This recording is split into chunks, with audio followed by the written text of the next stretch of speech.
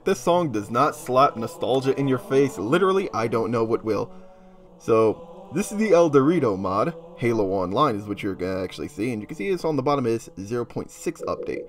Now, there was some controversy about this whole thing gonna stop, and I already got started on the game already, but I've just been loving this game nonstop. This is the game that I was talking about before, if people don't know what Halo is, which I'm really surprised if you don't know what Halo is. But this is a mod for the online version that was originally like exclusive for Russia that Microsoft shut down. And a few coders ended up managed to hack into the game and make it functioning.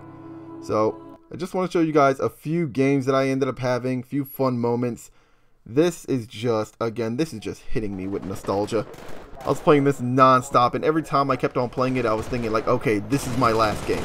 Okay, after this, this is my last game. And there's only a few games that can actually do that to me, but I just want to show you guys some fun clips of some really good games. Unfortunately, I did record some footage before that, but the audio was kind of messed up, and I'm not really using Shadow Play when it comes to this, so I had to switch back to OBS, but this is just like a lot of fun moments. And here it's going to be kind of funny, because in this game, this is when everyone in the lobby realized, oh, wait, you can sprint. Because, yeah, you can actually sprint in this game, which a lot of people tend to think it kind of breaks Halo formula. I don't know, it kind of it flows together. I don't know why sprint seems to feel okay in this, but it doesn't feel alright when it comes to other Halos. I guess it's just because the maps aren't so big. These This map was built for, like, not to have sprint, like, included into the game, but I don't know. They didn't bother extending the map to compensate for sprint. So it kind of, it's, it's like a, a clusterfuck, I guess you can say. But they use the original, like the Halo 4 art styles, which you could already pretty much notice, like the Halo 4 battle rifle. I'm not a fan of these weapons, I'll be honest. The only thing I'm probably like okay with is the beefy look of the assault rifle. That's about it. And the sound effects, they also use that. Now, another thing that you may end up noticing if you do try to to try out the ElDewrito mod, which it is free. Yeah, I backed out of that gunfight. It is free. It's free to download, so you're, you're welcome to try out the game. It's really, really good. You have nothing to lose. And I don't know. You just gotta get used to the control uh, control scheme, because it is a pretty awkward layout. But this is just... I'm loving this so much. I'm really loving this a lot. I'm using the Recon armor. And you can bet they have all the armor unlocked. You can even have the flaming skull on, which is pretty cool. I'm trying to remember. I don't know when it was the moment that I realized that you can sprint. It was like later on throughout the game, I know. Uh, at least got that kill. But yeah, and the uh, the footage that I had before this was like a really good game of Grifball. If you don't know what Grifball is, it's basically... It, imagine football. It, it has football rules, but it is way more intense than that. It was a real fun game, but Yep, this is the ElDewrito mod. I'm to leave you guys with a few clips. Well, I'm to leave you guys with this game and also a few clips of just the fun moments that I actually had with this game. I'll see you guys in the next one.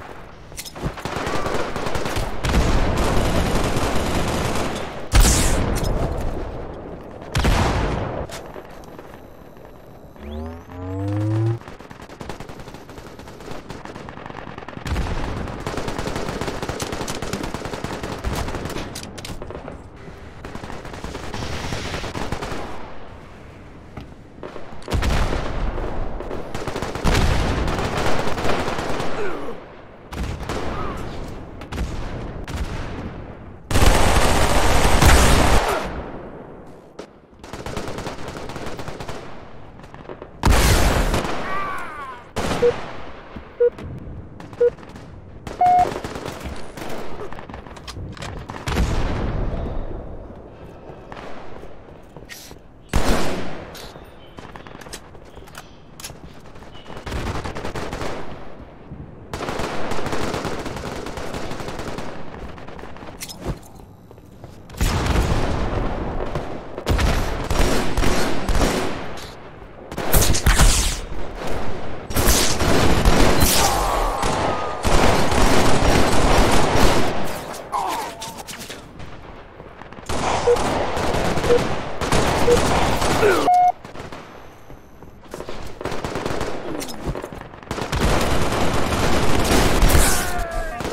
Game over.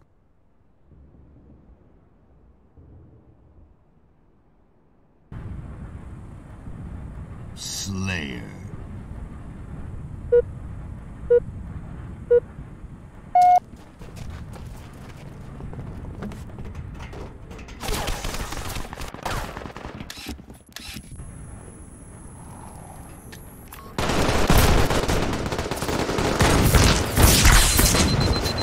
gain the lead.